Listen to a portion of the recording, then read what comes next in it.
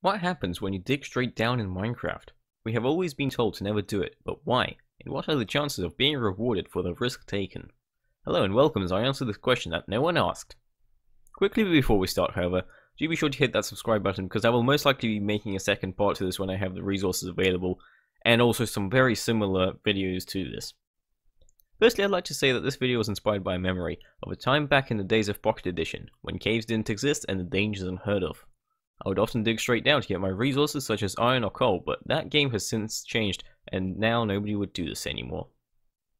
Before starting this video, I decided to check out if anybody had done this before, and it doesn't look like it... Oh wait. Looks like it's been done before, let's back up and go. Okay, so on further inspection, it looks like Mumbo here hasn't actually done exactly what I am looking for, so I should still investigate it for myself, said himself that his sample size wasn't very big and that he was only doing this by himself. Now just as a quick note on the sample size, I am just one man and this actually took slightly longer than I expected. If I had more time or I was more than one man then obviously I would have done a larger sample but with 100 readings taken I can say with 95% confidence that if you were to do this test yourself your readings would come out within plus or minus 10% of my readings. Now I'm doing it by myself as well so this might take a little while. Now, the easiest way to do this would be to just hop into a random Minecraft world and dig straight down and see what happens. Uh, this'll take a while. Okay, so we can't just dig straight down, or in order to get a large enough sample size, it would take over a month, or even years if I was to really try get a large sample, which is what I'm here for. It would simply take far too long to get the samples required to have good test data. So we must do something outside of the game, and I think making a program that can do it for me will probably be the fastest way. Okay, so first we're going to need a way to read Minecraft save files, which are in the Minecraft Anvil format, the .mca file type, by 256 by, two, by 512 blocks or 32 by 32 chunks, for a total of 67,108,864 blocks. That's a lot. These files are encrypted in such a way that you can't just read them. So first I will need a way to decrypt them. Luckily, after about a week of searching, I was pointed in the direction of this thing of beauty over on GitHub. I'll have this linked in the description. This is some Python code which I can't be bothered to see how it works, but the point is it does. This allows for me to pass the files into something I can more easily understand. At the time of writing the script, the module isn't in full release yet, however everything that I was originally looking for is now available, and I was easily able to download it with pip. Okay, so let's see if it works. Perfect. Alright, so it seems fairly easy to work with. Now, before I start collecting large amounts of data, I should at least try to get most of my part of the code working, which is what I'll now spend ungodly hours on.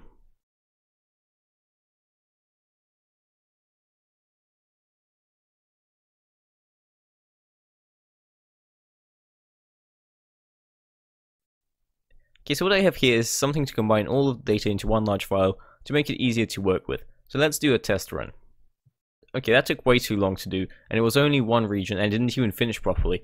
To be honest, I'm not sure where exactly in the process it went wrong, but we can see that this isn't going to work. Even if it was to work, I want to take about a thousand worlds, maybe more, with four regions per world, and if I were to do this for all of them, it would take uh, um, about three months to process them all, when I don't even need to do it.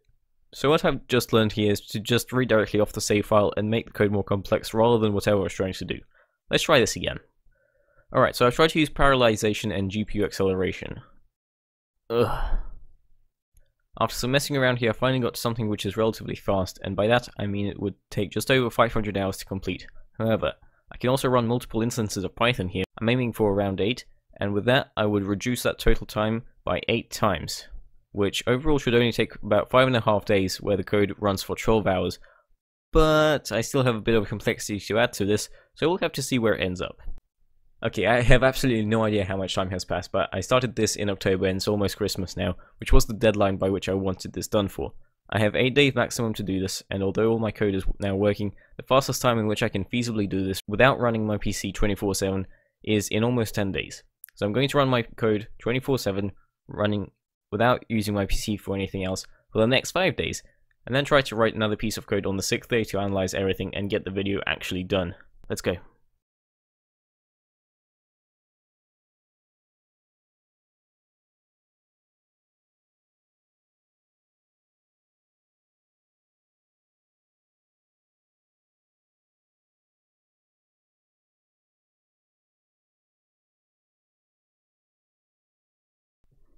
Unfortunately, I was too lazy to wait all this time running my PC, so I cut this short and only got 256 worlds, which is a quarter of what I originally wanted.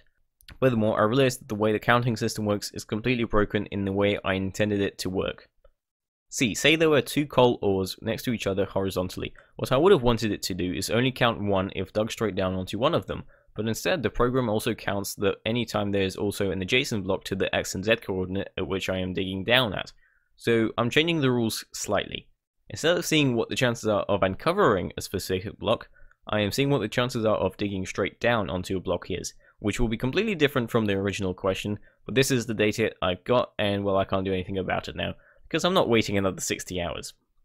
Nevertheless, I have written something to quickly add up all the values, and here are the results, some of which I found quite surprising. I bet you expected me to present all of my findings in a really shiny way. No, dead wrong. Instead, here I have an Excel sheet. So, the chances of you digging straight down onto coal is 69.89%, which is a lot higher than I expected considering that this is digging straight down onto it. For iron, it goes down to 39.45%.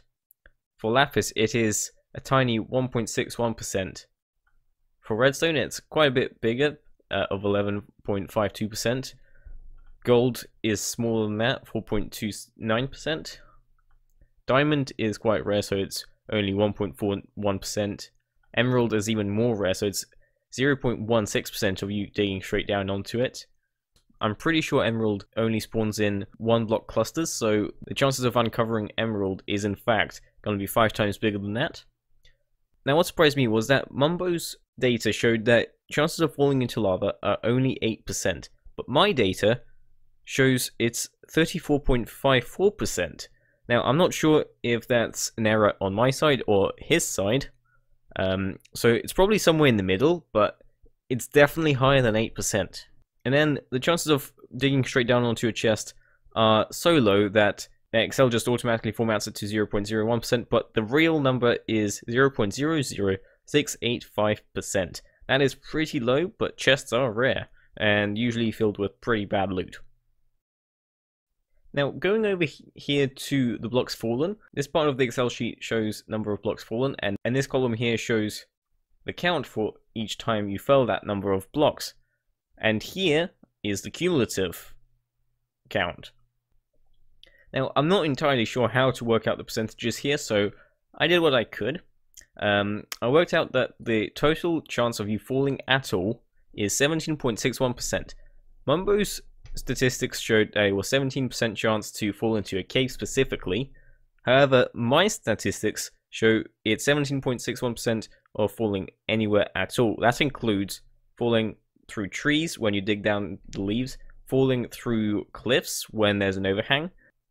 For the other statistics here, what I'm pretty sure I've worked out is there's an 8.72% chance that you'll fall further than 3 blocks, which would do damage to you, and you'd there's an 18% chance you will fall further than 23 blocks, which is the limit of how far you can fall without armor and it, surviving it.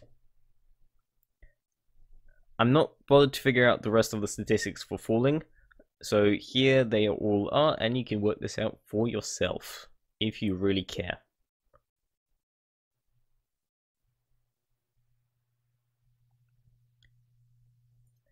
The furthest block fallen was 153 blocks, which I'm pretty sure was from a cliff into a ravine, because I cannot imagine such a great distance.